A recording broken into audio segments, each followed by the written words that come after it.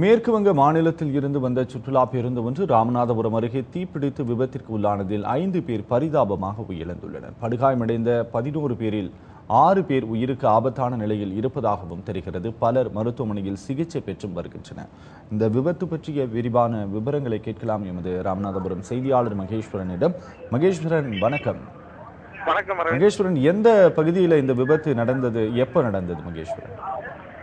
மேற்கு வங்க மாநிலத்து மாநிலம் கௌரா பஸ்குரா உட்பட ஐந்து மாவட்டங்களைச் சேர்ந்த எழுபத்தி எட்டு முதியவர்கள் மற்றும் அந்த வாகனத்தில் இரண்டு பேர் உட்பட மொத்தம் எ- எண்பது பேர் கடந்த ஆகஸ்ட் மாதம் இருபத்தி இரண்டாம் தேதி மேற்கு வங்கத்திலிருந்து தென் மாநிலங்களுக்கு சுற்றுலா கிளம்பியுள்ளனர். இவர்கள் கடந்த இருபத்தி ஒன்பதாம் தேதி ராமேஸ்வரம் வந்து சுற்றுலாவை முடித்துவிட்டு நேற்று இரவு கன்னியாகுமரிக்கு செல்வதற்காக ராமநாதபுரம் வழியாக வந்து கொண்டிருந்தனர். ராமநாதபுரம் அடுத்துள்ள திருப்புலானி அருகே அவருடைய சுற்றுலா வாகனம் சென்ற போது அவர்கள் பயன்படுத்த பயன்பாட்டிற்காக வைத்திருந்த கேஸ் சிலிண்டர் வெடித்து திடீரென்று தீப்பிடித்தது.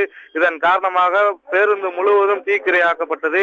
இதிலிருந்து அலறை எடுத்துக்கொண்டு சுமார் எழுபத்தி எட்டு பேரும் ஓடினார்கள். ஆனால் இதில் ஐந்து பேர் சம்பவ இடத்திலேயே பலியாகியுள்ளனர். மற்ற ஆறு பேர் தற்பொழுது உயிருக்கு ஆபத்தான நிலையில் ராமநாதபுரம் அரசு தலைமை மருத்துவமனையில் சிகிச்சைக்காக அனுமதிக்கப்பட்டுள்ளனர் அரவிந்த். மகேஸ்வரன் குறிப்பா இந்த ஒரு விபத்து தொடர்பா அடுத்த கட்டமா அதிகாரிகள் என்ன நடவடிக்கை எடுத்திருக்காங்க மகேஸ்வரன்?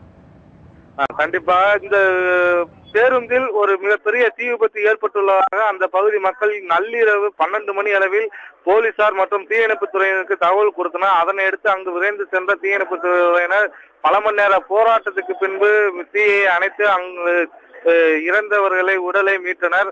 மேலும் தற்பொழுது அங்கே பாதிக்கப்பட்டுள்ள மற்ற நபர்கள் அஹ், திருப்புலானியில் உள்ள அரசு பள்ளியில் தங்க வைக்கப்பட்டுள்ளனர். இந்த விபத்து குறித்து திருப்புலானி போலீசார் வழக்கு பதிவு செய்து விசாரித்து வருகின்றனர். அந்த இந்த பேருந்தை இயக்கி வந்த அந்த ஓட்டுநர் தலைமறையாகிவிட்டதாகவும் தற்பொழுது காவல்துறையினர் தெரிவித்துள்ளனர். மேலும் அவர்கள் பெங்காலி மொழி பேசுவதால் முழுமையான விவரத்தை அவர்களிடமிருந்து பெறுவதில் தொடர்ந்து சிக்கல் ஏற்பட்டு வருகின்றது அரவிந்த். நன்றி மகேஸ்வரன். உங்களுடைய தற்போதைய தகவல்களுக்கு நன்றி. நன்றி அரவிந்த்.